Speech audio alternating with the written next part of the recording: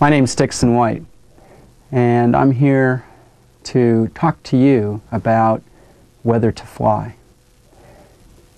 Flying is an ultimate human realization. It's the leading edge of human potential. There's no doubt that almost everybody in mankind's past has looked at the sky and thought how wonderful it would be to fly. And now we have vast resources of different types of aircraft that we can use in order to make our dreams come true. But whether to fly is very important.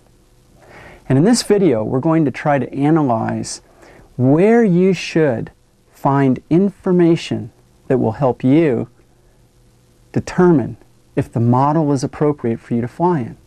We're going to show you how to get to the resources, how to use those resources to develop the data that you need to determine whether you should fly. This is an entirely new concept for many people.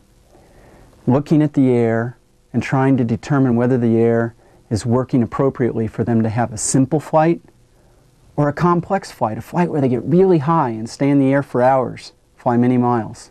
Treat yourself as a new pilot as though you're a very naive person starting to drive for the first time.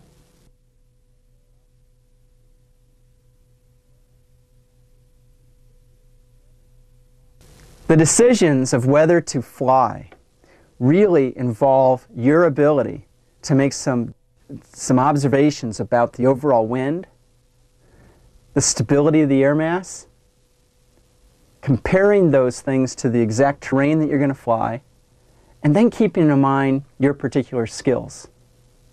These things add up to whether to fly. And if you'll take advantage of the information you gain from this video and apply these things for two weeks, you'll find you'll have a slimmer, trimmer, more satisfying flight experience.